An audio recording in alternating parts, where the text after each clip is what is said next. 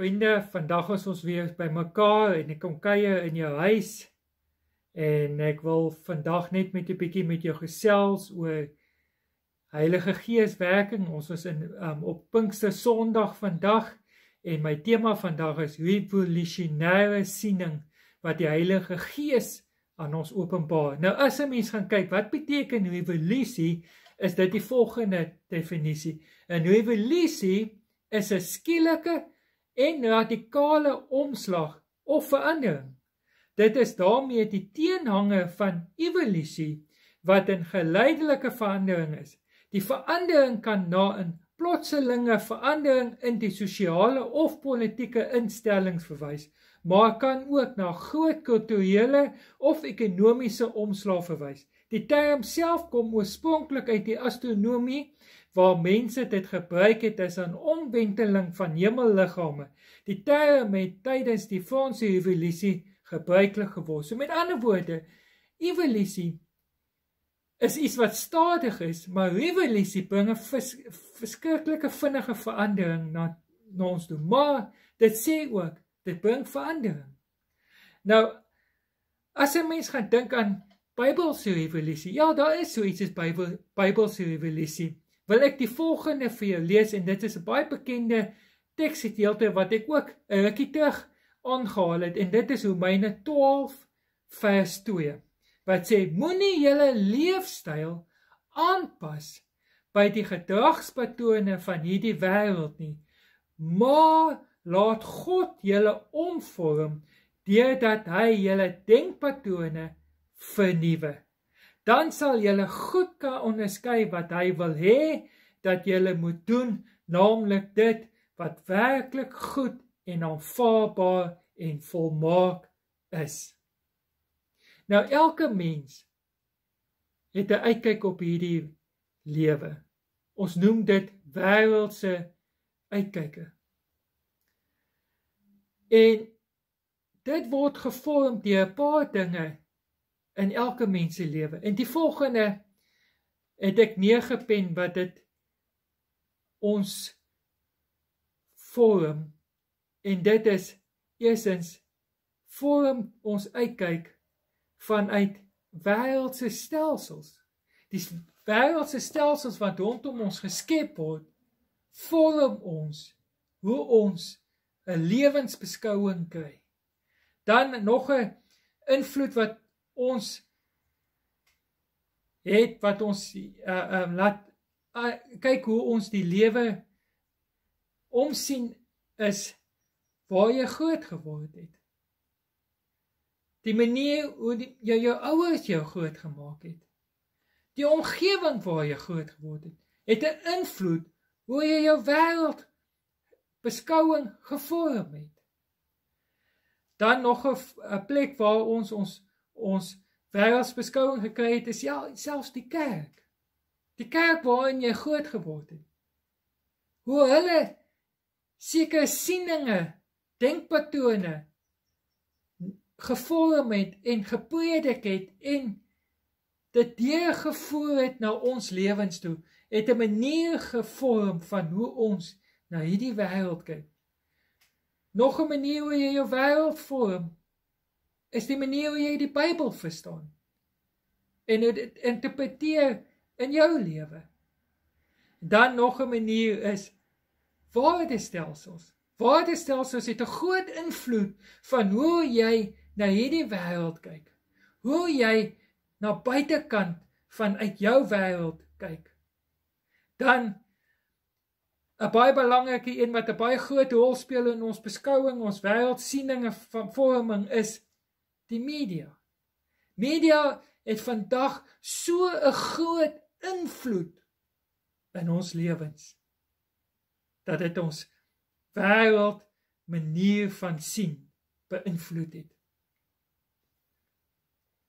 En dan natuurlik hoe ons na hierdie wêreld kyk, hoe ons optree bring 'n sekere gedrag na vore gedrag wat ons in ons manier van optree, manier van praat, manier van leef uitoefen. Nou hulle sê die slim mense sê dat gedrag word natuurlik gevorm deur gewoonte en 'n gewoonte word gevorm deur die hoeveelheid tyd dat wat jy daaraan spandeer. En hulle sê dit is gewoonlik so hier by 6 weke wat 'n gewoonte gevorm word. Nou watse gewoontes het jy al gevorm in hierdie lockdown? Want ons is nou al plus minus 6 weke in die lockdown. Het jy het jy ander maniere van doen as wat jy voorheen gedoen het voor die lockdown? Dink 'n bietjie daaroor. Maar nou kom Jesus na hierdie wêreld toe. En sy koms bring 'n radikale verandering, 'n revolusie. Wat met sy koms kom vestig hy sy koningskap hier in hierdie wêreld. 'n Hele ander wêreld word ge, gevorm vanuit God se heerskappy na hierdie wêreld toe. En dit bring revolusie. En die Bybel nooi ons om deel te neem aan hierdie revolusie. Met ander woorde, ons is in hierdie wêreld vasgevang met sy denkpatrone, met sy lewenstyle en God nooi ons om vanuit hierdie wêreld uit te kom en in God se wêreld in te kom en in, in sy wêreld te leef, te beweeg, te dink en te verander. Maar ons kan dit nie doen vanuit ons eie wil en vanuit ons eie maniere nie, want ons het 'n beskouing gevorm wat nie van God af is nie. En daarom het ons die Heilige Gees nodig om ons te help om ons gedragspatrone, ons manier van dink, ons manier van lewe te verander. Dis Pinkster sê vir my. Pinkster Sondag sê vir my, want ons vier Pinkster. Dat Pinkster nie net gaan oor die die fisiese manifestasies waaraan ons so gewoond is en geleer is in ons lewens of in die kerk of in die in die daar buite waar ons beweeg nie. Maar dat Pinkster sê vir ons dat die Heilige Gees ons help om ons lewens te verander, te vernuwe na 'n nuwe manier van lewe en dink. 'n Revolusie moet plaasvind in ons lewens, in ons wêreld met die krag en die werk van die Heilige Gees om anders te dink en te leef in hierdie wêreld. En daarom het ons die Heilige Gees nodig. Jesus kom en dan sê hy vir disippels in Johannes 16 vers 13 en 14. Wanneer hy kom, dit is die Gees van die waarheid, sal hy julle begelei in die volle waarheid. Hy sal nie uit homself praat nie, maar net sê wat hy hoor. Hy sal die dinge wat gaan kom aan julle meedeel. Hy sal my verheerlik omdat dit hy omdat hy dit wat hy van my sal ontvang aan julle meedeel.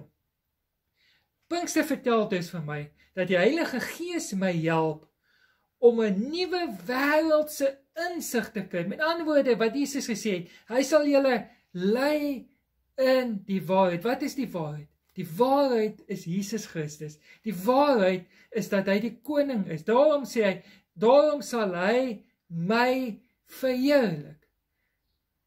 Verheerliking kom as jy 'n posisie inneem.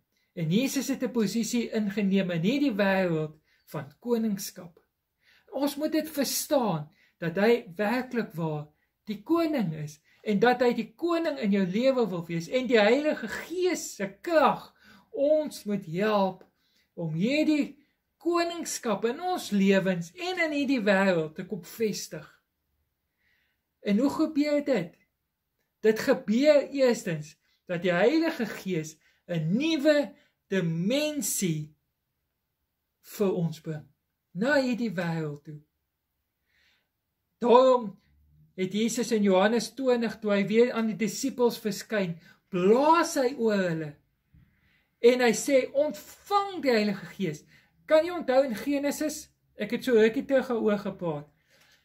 Het God gekom en in die mens ingeblaas en het en hy het lewe gekry. Maar hy het dit verloor langs die pad, deur sondes en al hierdie dinge om hulle rug om op God te draai. Maar toe kom Jesus en hy kom en hy stel dit wat stikkend was. Hy stel dit wat gebreek was. En hy blaas oor die disippels as teken van 'n stel en vernuwing en hy sê ontvang die Heilige Gees. Die Heilige Gees bring 'n nuwe wêreld na ons toe. Die Heilige Gees bring nuwe betekenis na ons toe. Die Heilige Gees bring 'n nuwe verandering na ons toe. Revolusie. Dis maar wat het nou kan jy vra, wat het dit dan doen met Pinkster? Pinkster kom dan nog. Dit is die begin. Pinkster is die is die verlenging van wat hier reeds gebeur het. En dus wil die Heilige Gees ons begelei na die vernuwing toe. Ons het nodig dan dus om hierdie vernuwing in ons lewens te kry en te laat gebeur. En daarom wil ek jou uitnooi. Dis wanneer jy dan dink aan die gawes van die Heilige Gees. Wanneer jy dink aan die aan die vrug van die Heilige Gees, moet jy dink aan die vernuwing wat God aan ons gebring het deur vir ons te begelei na 'n nuwe manier van lewe, na 'n nuwe koninkryk toe. En dit is God se koninkryk. Dan wil ek jou nooi wat hy ook vir ons bring, die Heilige Gees, is om vir ons te openbaar dat Jesus die Heer, die koning in ons lewens is.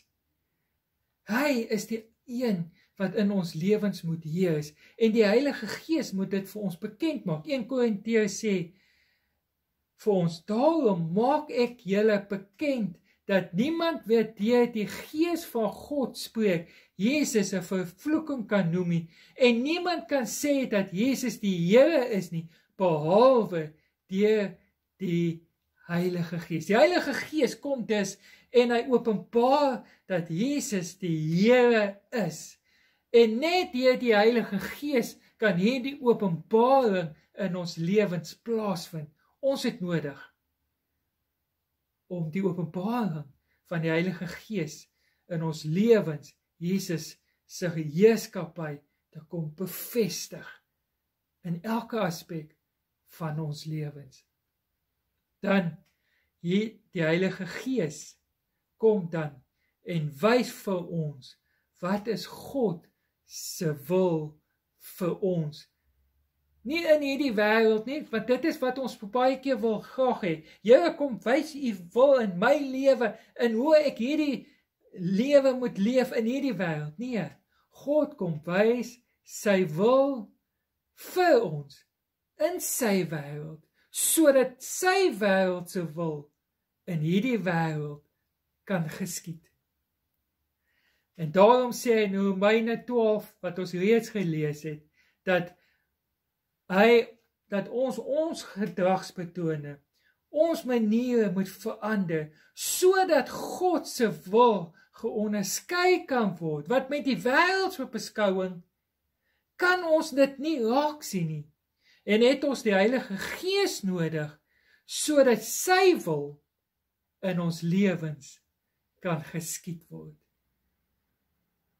Ek wil jou uitnooi hier op Pinkster dat jy sal kom en toelaat dat die Heilige Gees werking sal gebeur sodat daar 'n revolusie, nie 'n wêreldse revolusie nie, maar 'n geestelike revolusie in jou lewe kan kom. 'n Verandering wat net deur die Heilige Gees kan plaasvind deur die werking van Jesus wat reeds vir ons herstel, verzoening gebring het. Kom ons bid saam. Here, baie dankie dat ons kan besef en beleef dat U deur die Heilige Gees vir ons help om verandering te bring. Dat Pinkster 'n nuwe era vir ons inbring van verandering en vernuwing om in God se wêreld te leef en te funksioneer. Help ons deur die krag van die Heilige Gees om so te leef in Jesus naam. Amen.